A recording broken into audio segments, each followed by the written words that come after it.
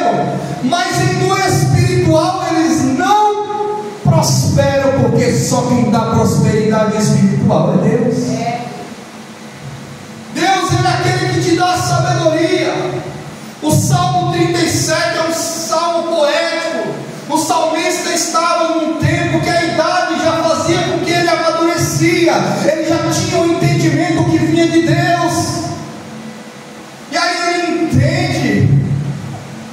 o Senhor está falando para ele: olha, não te indignes com os ímpios, não fica com raiva dos ímpios, porque vai chegar a hora da recompensa dos ímpios e a recompensa dos justos.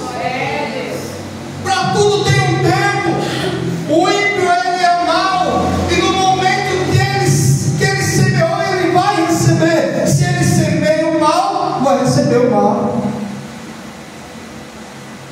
Mas aquele que semeia o bem vai colher o bem. Amém. Aquele que busca a presença do Senhor. Aí fala lá em Mateus 6,33: Busque primeiro o reino de Deus e a sua justiça, que as bênçãos vai te acompanhar. Aleluia. Ao pé da letra, está falando: busque primeiro o reino de, de Deus e a sua justiça, e as demais coisas serão acrescentadas.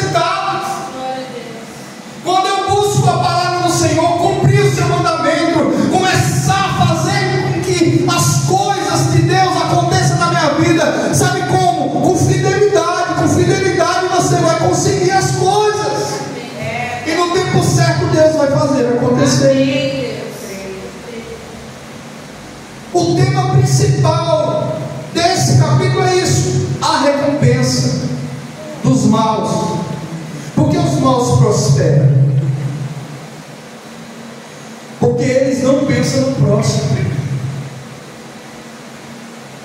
O mal, os maus, eles começam a tramar para ter as coisas.